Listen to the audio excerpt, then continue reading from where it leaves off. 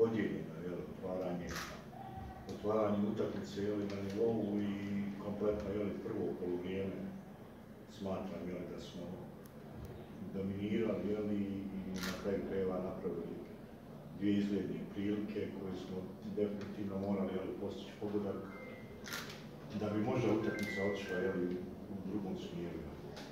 Otvaranje drugog poluvremena, tih deset minuta jel, do pogodka široko, mislim da smo bili u nekakvom egalu i mislim da nas je taj uvijel presjeko i izmjene koje smo napravili, mislim da nisu napravili nikakvu, nikakvu prelogu ono što smo očekivali. Za gospodina Šuklića, znamo za nekoliko dana ta utakmica sezone za vaš tim. Da li je bilo danas kal- kalkulacija vezano za sastav uoči te utakmice finala kupa?